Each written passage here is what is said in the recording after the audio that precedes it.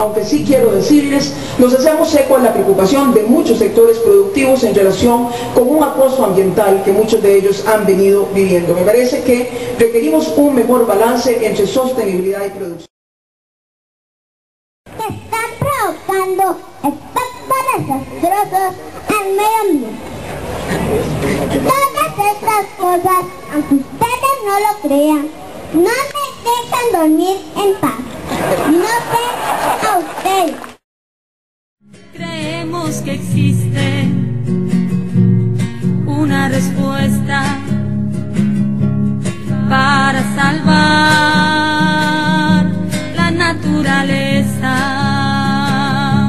Los peces que nadan son como niños,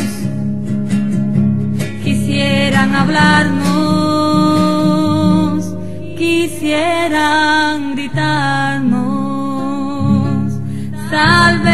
salvemos la tierra, salvemos al mundo, el agua dulce, salvemos la vida.